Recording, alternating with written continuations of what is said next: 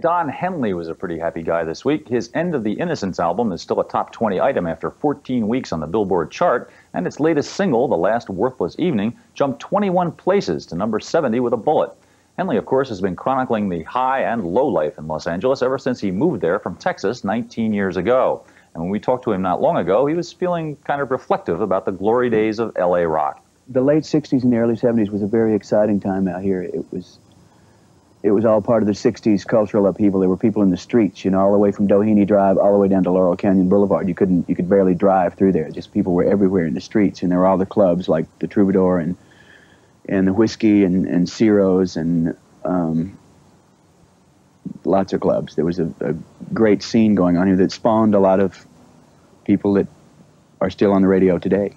Uh, and um, I thought I was in heaven, you know. I mean, I was just thrilled to death to, to be here.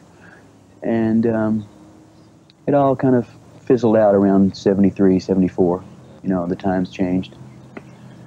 But um, it was it was really something.